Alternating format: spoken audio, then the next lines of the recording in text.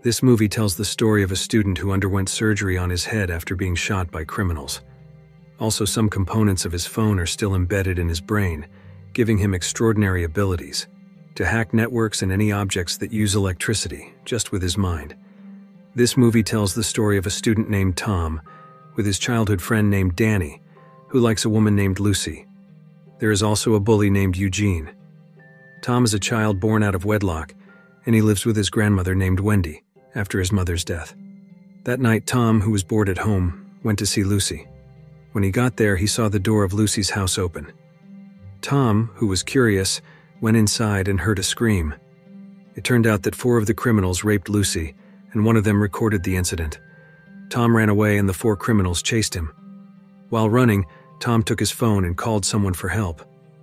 But suddenly the criminals shot Tom. Ten days later, Tom woke up in the hospital. The doctor said that his right side of the head had been operated on, but there was a part of the phone component that was left in his brain and could not be removed because it had entered the brain network. After undergoing an examination, Tom was allowed to go home. He felt very guilty because he couldn't help Lucy that night. And after he got home, strange things started to happen to him. Tom could hear other people's phone conversations without using any tools. He then went to see Lucy and apologized because that night, Tom couldn't help her. And from there, Tom intended to expose the perpetrators who had raped Lucy. When Tom got home, he heard the sound of a phone conversation from his head, making him dizzy. Tom began to see numbers and images like a network system that came out of objects that used electricity. And suddenly, that night, Tom saw the world felt different in his eyes. He saw a computer system that could be accessed at any time in every corner of the city. Tom, who was shocked to see it, passed out. The next day, Tom went back to campus. After a post operative break, Tom met Danny again and said that he suspected Eugene was involved in the rape of Lucy. Danny denied it and said that even though Eugene was bad, he still had limits. On the way, Tom saw all the internet transmissions around him, and this time it was clearer than what he saw before. In the practice hour, Tom saw the data transmission traffic from his friends' phones. When Tom spied on Eugene's phone, Tom was very surprised to see a video on Eugene's phone. In the video, there was a video of Lucy's rape scene that they recorded that night. And it was true that Eugene and his friends were the ones who committed the crime against Lucy. Because he was so angry, Tom accidentally made Eugene's phone explode with his mind control. That night, Tom learned how to hack a system according to his ability. He could hack anything with his mind control. So, with his ability, he became an unmatched hacker.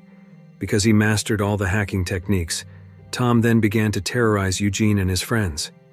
He hacked the smart home in Eugene's and his friends' houses. From his action, Tom saw Eugene's friend, Cuts. Tom recorded the incident, which he would later spread at school. When the campus seminar was in progress, Tom hacked the presentation laptop. Then he showed on the projector that Cuts did last night. Everyone who saw Cuts' action laughed in the room.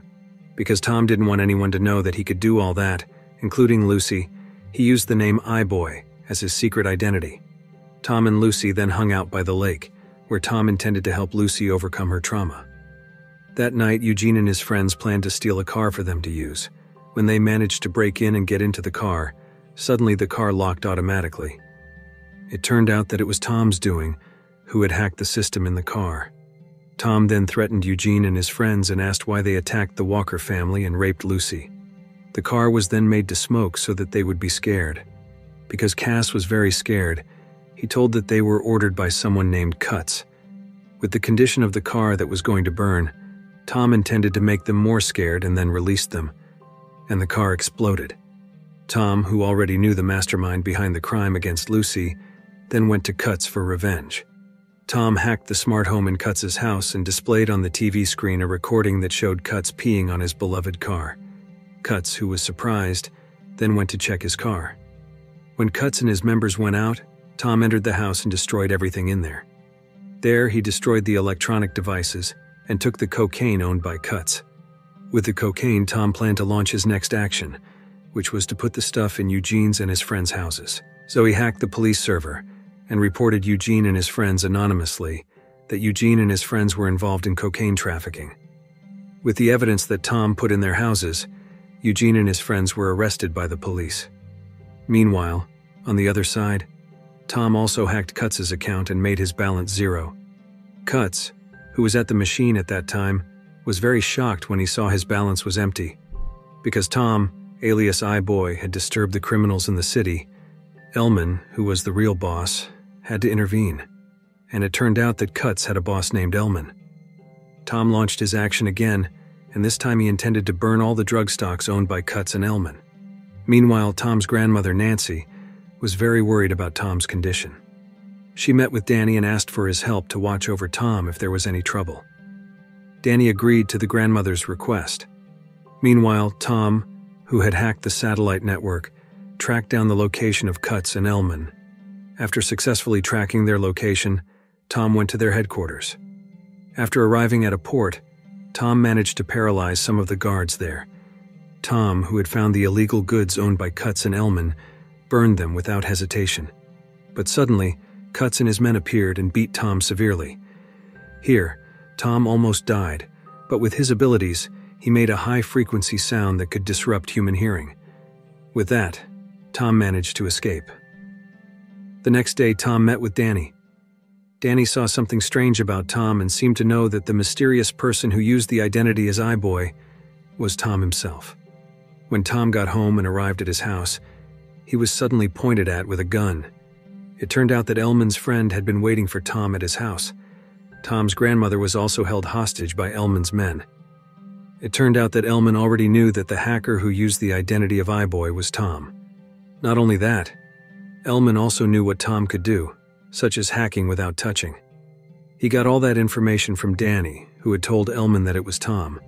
It turned out that he had been observing Tom and knew for a long time that Tom was iBoy, who could hack with his mind.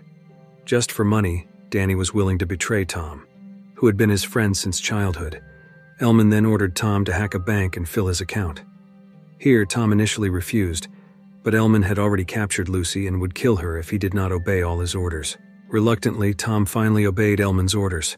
Tom then hacked the bank with his mind control and started filling Elman's account. Not long after, Elman and his men took Tom to their headquarters. Meanwhile, Lucy, who was held by Eugene and his friends, managed to escape and took Eugene's gun. When Lucy was about to leave the place, Elman suddenly arrived there too and brought Tom. Here, Tom was forced to hack the bank again and fill Elman's account. But Tom also tried to escape and save himself and Lucy. Tom also hacked all the phones of the criminals and exploded all their phones. When Tom was about to leave the place, he was suddenly hit from behind with an iron rod. Because he was very angry, Elman intended to kill Tom. But suddenly Lucy appeared and shot Elman. Elman, who still had energy. He also managed to hit Lucy. Tom, who could not accept seeing what happened, gathered electric energy and released it towards Elman. Elman finally died from the energy attack that Tom made. A few days later, Tom woke up from his coma.